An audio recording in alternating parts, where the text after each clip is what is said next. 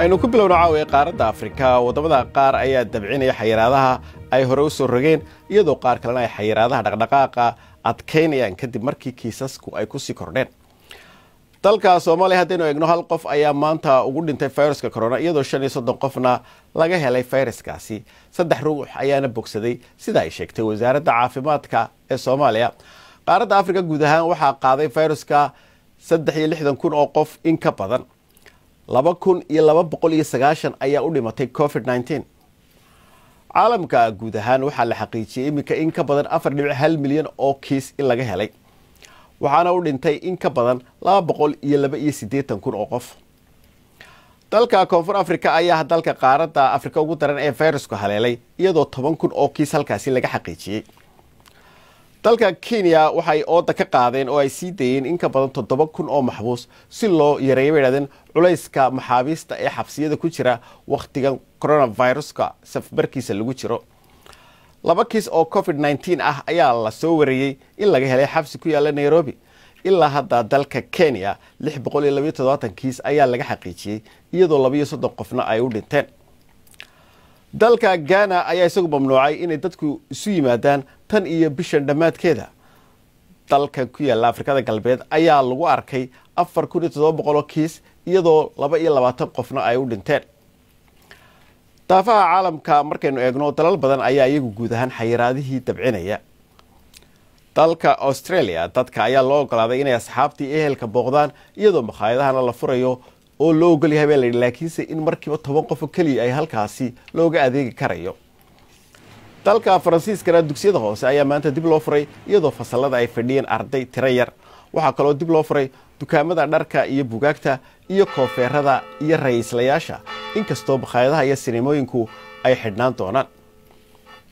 Dalka sbain gobollada qaar ayaa la ogolaaday inay dadku dibadda ku jimicsadaan. Waxaa kaloo la ogolaaday in toban qof ay isu iman karayaan dad gaadhaya iyadoo makhaayadaha iyo goobaha kale ee dibadda la fadhiistana la furi karo iyadoo la dhowraya bay idhahdeen kala duruga bulshada ama dadweynaha. Dalka u k haddaynu u soo dhaadhacno waxaa kordhay gaadiidka maraya waddooyinka london. Kadib markii ra'iisul wasaare boris johnson sheegay in la dabcin doono xayiraadaha england. Qaarkood laakiinse scotland wales iyo waqooyiga ireland ayaa iyagu aan dabcinin xayiraadahoodii. Waxaa jirtay haddaba in waxoogaa wareera laga qaaday soo jeedinta cusub ee dowladda ra'iisul wasaare boris johnson ee ku aadan habka xayiraadaha loo dabcinayo iyadoo mucaaridka dalkana ay sheegeen in habkani uu su'aalo badan keenayo halkii uu xal ka dhalin lahaa. Ra'iisul wasaaraha u k boris johnson ayaa ku dhawaaqay tallaabooyin lagu dabcinayo xayiraadaha daba wadanka ingiriiska oo la soo rogay dhammaadkii bishii march iyada oo maamulada ka baxsan ee maamul hoosaadyada aan idhahda westminster sida scotland wales iyo north ireland ay xayiraaduhu sidoodii u socon doonaan. Boris johnson ayaa ku dhawaaqay in fariintu ahayd joog gurigaaga ay iminka isu bedeshay feejignow iyadoo dadka qaarna aanay awoodin inay guryaha ka shaqeeyaan loo ogolaaday inay dib ugu laabtaan shaqadoodii. Haddaba waryahayaga b b c da junaydi faarax ayaa la socday oo hadda si toos ah khadka ugu jira isagoo london jooga. Junaydi soo dhowow. Maxaa junaydi oo ugu dambeeyey xayiraadaha la qaaday maxaynu dadka uga sheegi karaynaa nooca yihiin?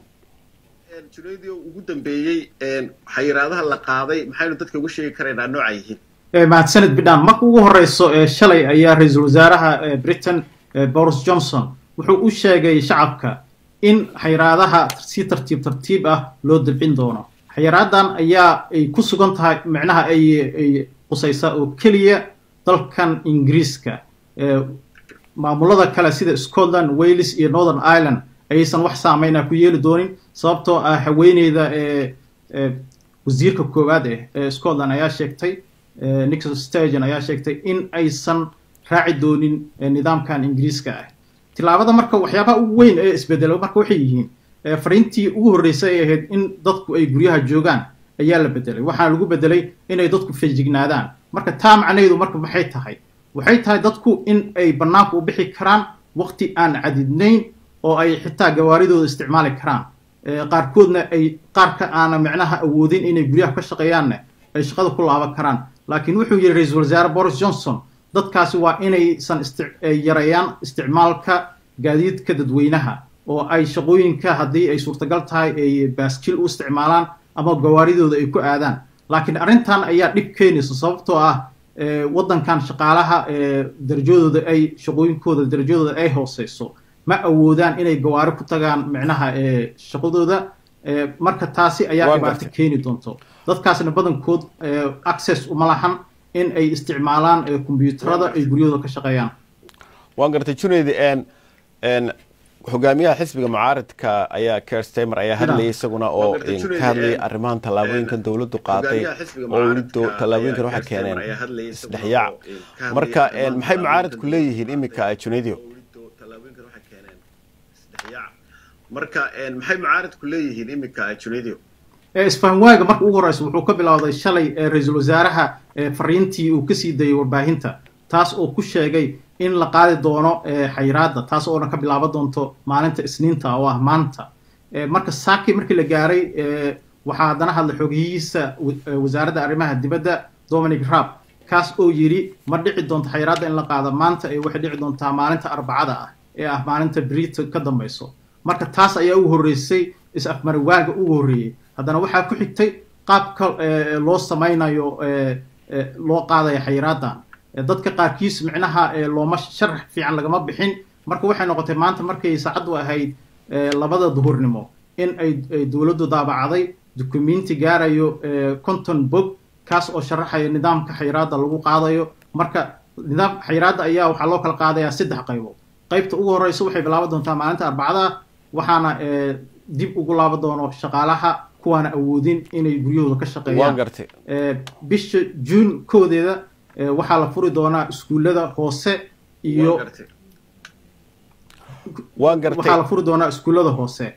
Kadabadeedna kowda july ayay shaqooyinka badankood furnaan doonaa junayd adigoo soo koobaya waktiga inugu yar nidaamkan r number la leeyahay muxuu yahay dadka jooga dalkan u k ee aynu u sheegno daawadayaasheena leeyahay muxuu yahay dadka jooga dalkan u k ee aynu u sheegno.